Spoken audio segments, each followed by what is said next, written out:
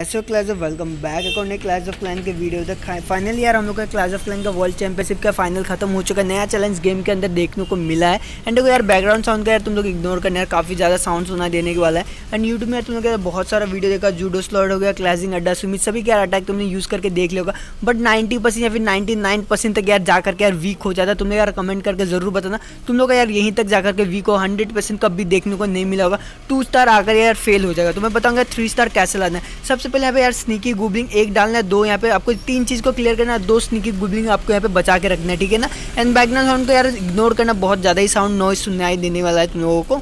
Archer queen drop करके सारा हेलर drop कर देना। जैसे यहाँ पे दो स्निकी गोबलिंग आपको बचा के रख, देखो, जैसे यहाँ पे क्लियर हो जाए, दो आपके साइड में गोल्ड स्टोरेज रहेगा वहाँ पे आपको दो स्निकी गोबलिंग डाल के गोल्ड स्टोरेज को आपको यहाँ पे इजीली टेक डाउन कर लेना। अर्चर क्वीन जैसे टाउन हॉल पे अटैम्प करने लग जाए, आपको एक रेंज पे यहाँ पे पॉपअप कर देना है।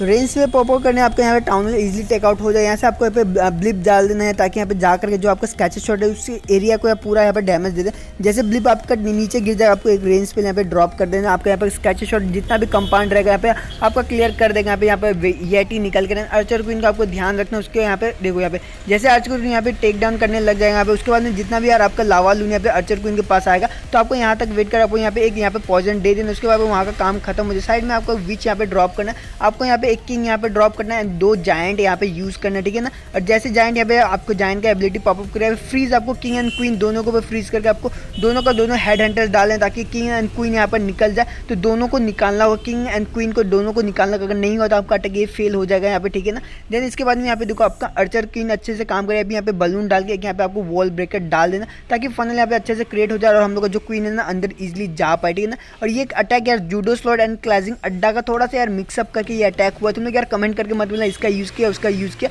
तो दोनों का थोड़ा सा मैंने मिक्सअप करके टाइमिंग देख करके अटैक यहाँ पे यूज़ किया तो अटैक देखते रहो यहाँ पे अर्चर को इनको रेंज डालना मत भूलना अर्चर को मर जाएगा। साइड से आपको जितना भी यहाँ पे लून्स एंड यहाँ पे आपका जो इन्फर्नो ड्रैगन रहेगा, सबको यहाँ पे ड्रॉप करके आपको वॉर्डन ड्रॉप कर देना। और साइड में रॉयल चैंपियन ड्रॉप करना, आपको सिंगल इन्फर्नो रॉयल चैंपियन से निकालना एंड जैसे यहाँ पे जाकर आपको फ्रीज डाल देना सिंगल इन्फर्नो ताकि यहाँ पे टेक डाउन हो जाए। एंड बलून जैसे आगे जाए स्केच शॉट बालेट कंपार्ट में आपको फ्रीज डालना है, ताकि बलून जाकर स्केच शॉट को क्लियर कर पाए। एंड आपको यहाँ पे रेंज स्पेल डालना है तो ताकि फटाफट से क्लियर हो जाए यहाँ पे। तो सब कुछ क्लियर हो चुका। मिनियन दे करके साइड में आप लोग फनल यहाँ पे बना सकते हैं इजिली एंड उसके बाद में वार्डन का एबिलिटी आपको पॉपअप कर देना, जैसे आई मीन इन्फर्नो टावर के पास में चले जाते।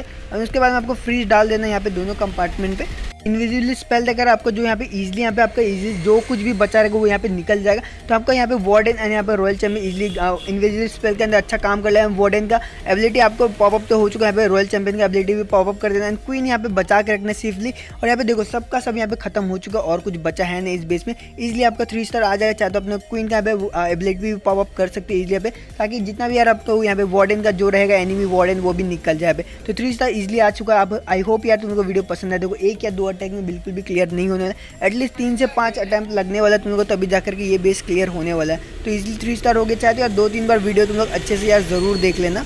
तो दो तीन बार यार वीडियो अच्छे से यार पीछे करके देख लेना यहाँ पे। वन थाउज़ेंड आपको जेम फोर हंड्रेड एक्स भी देखने को मिलने वाला। पता यार वीडियो लेट हो गया बट क्या कर सकते बेस यार ऐसा था तो मिलते हैं एक और नए वीडियो पे।